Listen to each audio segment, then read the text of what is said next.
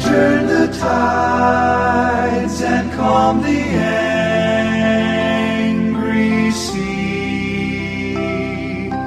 He alone decides who writes a symphony.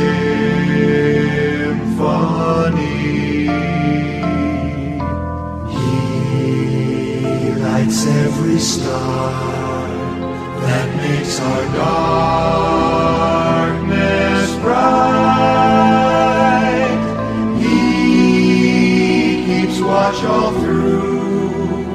each long and low.